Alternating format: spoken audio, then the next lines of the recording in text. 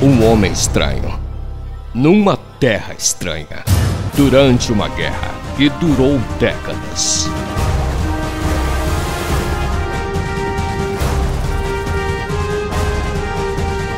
Servindo ao rei maldito. Ele se apaixona pela rainha e vira um cavaleiro para defender o povo de Jerusalém. Do diretor William Scott. Cruzada, uma aventura épica.